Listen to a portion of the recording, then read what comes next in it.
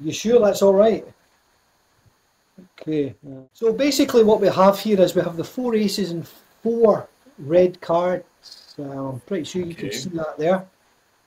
So all that's going to happen is I'm going to place it's it's an it's an ace assembly as you probably guessed. So I'm going to place the aces down in the traditional T formation like this. See, and we'll use the odd cards one at a time. So I'm just going to start by placing. You see that four on top of this leader ace here. Odd cards go here. A little squiggle, little twist, and hopefully one, two, three, four cards. Yeah, just tilt them a little bit towards the camera so we can see the, the faces. Oh yeah, okay. And of course we have two aces, so that's one, two aces. Try the same thing again. Let's just take this card here, place it on top of this ace. Little twist. And we should find we've got one, two, three, four odd cards, and over here we should find we have the three aces. One, There two, three aces. So, last one to go.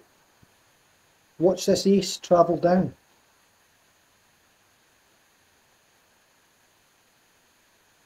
But actually what happens is that these three aces travel up. So we have here one, two, three, four red cards.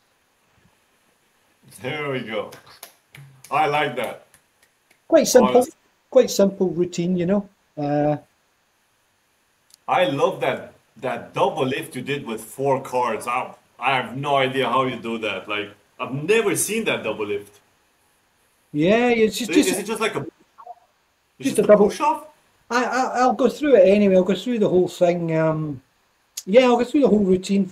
Um, it's just a double buckle, but I'll go through that. That's not a problem. The, the other wee thing I wanted to show you was a very, very simple, simple. Um, I'll go back to that in a second.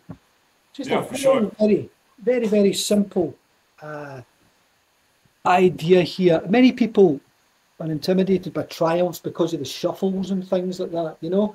So this is a very, very basic triumph that you can do, and I'll teach this as well. It's no bother. So I mean, it, it is a free choice. So a card is selected. A, card's not forced, right? So uh, you can see the card there. So this card's lost, lost in the deck. Okay. Nothing fancy. The cards are shuffled up, and you're going to split the deck now. Going to turn this half face up, shuffle them into here. You can see the cards are obviously mixed up. Very nice. And then every card should be facing the correct way, except the selected card. Now that's very simple, Very beautiful. very simple, and um, Straightforward. That's it. straightforward. And you've got a sort of mini Daryl display going on, just a sort of mini, Yeah. you know. Um, but yeah, yeah, all very simple. So um, I'll try and explain this the best I can. So um, a little bit of history about this is so basically it's um, uh, it's the main name is Trevor Lewis. He published a trick way way back. I think it was 1972. I think he called it um, uh, Aces Plus or something like that. Was it Topsy Turvy Aces or Slow Motion Aces? And uh, it was first published. Where I've got that written down somewhere. It was published in the Pentagram, Volume Three, Number Eleven, in 1972. But Frank Garcia and Al Cooper had a method as well, and I think it was Frank Garcia who called it O. Henry Aces. Now, the first time I, s- Ah, yeah, the first time I seen this, um, put it up. First time I seen this in conjunction with Peter Kane's Jazz Aces was in the early 80s by a friend of mine called Stephen Hamilton. Uh, and in Stephen's book, you can find a trick called Jazzed Up O. Henry. Now Stephen was doing this, not this, not this routine. Stephen was doing, uh, you know, combining um, ja- uh, Peter Kane's Jazz Aces with the O. Henry ending way back in the early 80s. Now, many other people have, you know, I mean, John John Bannon's got one as well. Um, as I say, Frank Garcia. There, there's many O. Henry, um, uh, you know, other magicians have done. This is not original at all. This is just my little take on it. And um, so here, here it is. So so Let's go. four aces, four red cards. Now I always have two same valued cards together. And this, oh, sorry, sorry. Yeah, sorry. So- Yeah, exactly. I'll start again. Just tilt it up a little bit more. Just a little bit more.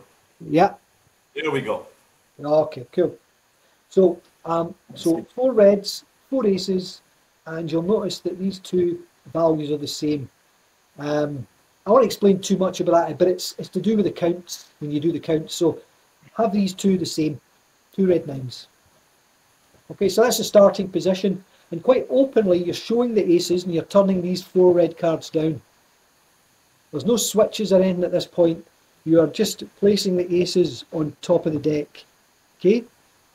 Now Yep. you're, you're preparing for a bottom deal now, right? So you, you're going to deal here, a top, here a bottom, top, top. So this is a bottom deal.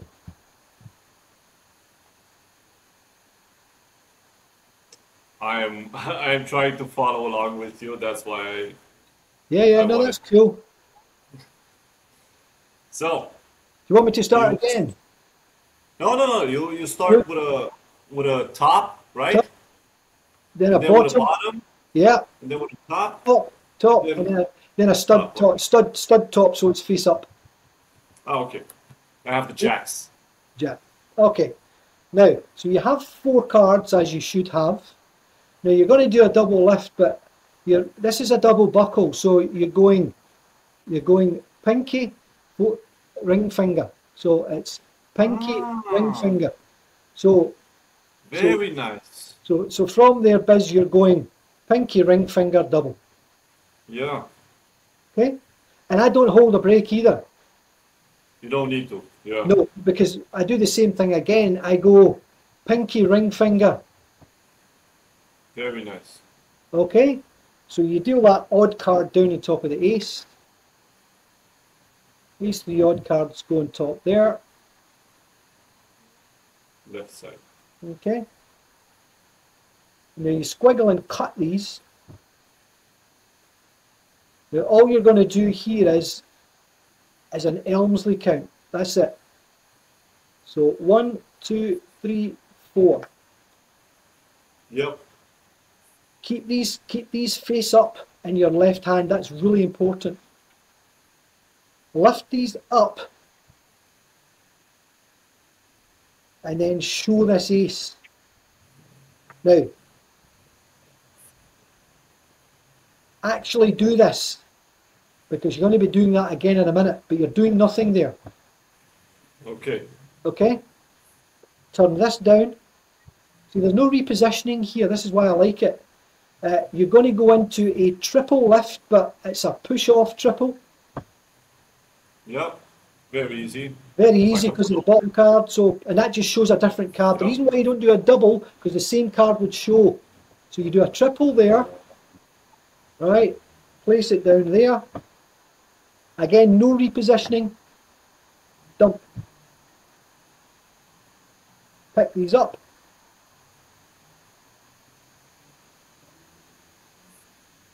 Now, I actually do an Elmsley count here, right? Do an Elmsley count, but I know I didn't do this, I forgot to do this. Actually, casually show these. You can, they're all different. They are. Yeah. Keep them face up. Put these on top. Show the ace. Now, we're going to do a move now that you're probably conversant with. It's a Marlo move. You're getting a break under the top card with your pinky. Yep. Square these up. You're going to take off the top ace, but take away the bottom three. So the bottom three cards are underneath that ace. That's one, Yep. two, three. Sorry, wait a wee minute, wait a wee second, hang on a second. Need to go back again. Yep. It's all right. Let's go back. That's. So you're going one, two, three, and then you're coming back like this. So it's like a fifth fifth peel. Did, you Yeah, understand let's that? go. Let's go again Yeah. for everybody. It- It's quite complicated that actually, right? So you're back here. So, so really you've got a break under four, three aces on the odd card. Yeah. You're going to you're going to take away these three cards with the ace, but you're going to hold Okay. a break, keep maintain the break, Okay, maintain the break. Very good. and then two, three. Now you've got a break. They think this is the block. Now you're going to you're to yeah, yeah, it's like you're going to take the and you're going to dump them there. So this is the odd cards, Yep. right? You dump these on top. Pick these up. Do exactly the same as you done the last time. Place two to the bottom. Now this How many odd cards are going are you gonna have? Four Five. cards in the end? five, five. Uh, one, one odd card and fi- one odd card and five. Yeah, one odd card and the aces. Yep. Yeah, there we go. Right, and then cut two to the bottom. Okay. Right. Now you're going to do push off, push off, double, push off, and put that on top. Ah, yes. Very nice. Dump these down. Now you're going to. Now you could do an Elmsley count here, but I don't. I do an OPEC count. So I take the bottom card first, not the top card. Ah, okay. One, two, three, four. Yep. So it's the, so it's the bottom card that ends up on top, and you only see that fleetingly. Yep. That is very nice because you can actually show it much more open at the end when it Yes. up on top. Yes. Like that. And your Very clean nice. your cleanup is that you take this this block, scoop the whole lot up, and it adds it to the odd, the odd card. Oh, so nice. So nice. There we go. All A wonderful trick. Wonderful trick. I think people think people watching are going to be enjoying performing this for sure. Yeah, it's um, it's I mean, it's not too difficult, you know. I mean, you don't have to do double buckles and things. You just do a double lift as normal, you know. Um, Yeah. and you know, triple push offs and things like that. You don't necessarily have to do all of that. Um, But this one is for people that want to, you know, they enjoy a little bit more sleight of hand. And Yeah. I think the next one with the Triumph, I think it's perfect for people that, you know, they don't focus so much on sleight of hand. Yeah, I mean, it's almost. I mean, it- with that, I mean, you get a card controlled. Um, you know, it's it's on the top, for example, right? King of Diamonds, right? The deck's all face down. So uh, basically, you need this king reversed in the bottom. That's that's what you need, right? There's many many ways you can do that. You can shuffle it to the bottom and do a half pass on a on a single card, or do as I done. It's on the top at the moment, right? But during a during a, an overhand shuffle, uh, all I'm doing is that. Uh, you have to explain that a bit. I, I don't even know what you did. Right here, here we go. So so I'll try and expose it. So all I'm doing is this. You're pushing. Ah, yes. Oh, so nice. So nice. I didn't see anything. Yeah. So, and a good tip is to almost keep, try not to have the deck like that. Have it like that, so that so that you can bring it up to that position to shuffle. So you're doing that. Pretty well covered.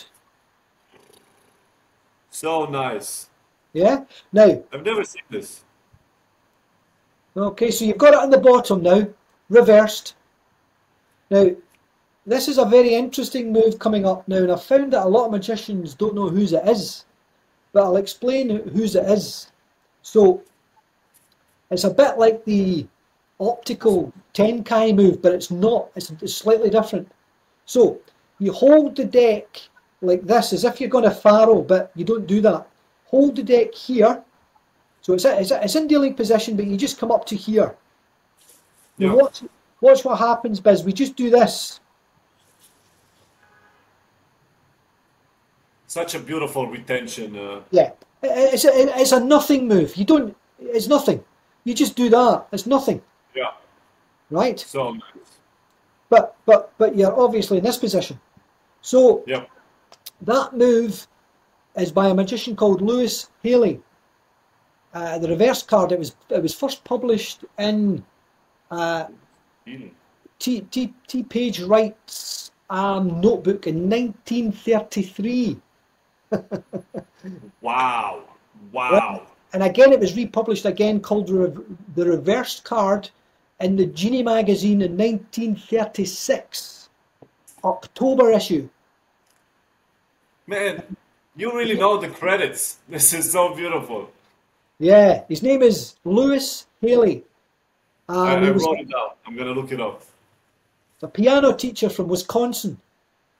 He died. He died in 1922. Rest in peace. Six, 64 years old. So anyway, you're here. All you do is turn this over. There we go. Yeah. Just do a kind of closed shuffle here. Shuffle them in. Oh. Square up. Now, this is nothing really. You come out towards the diagonal here. Revolve both over.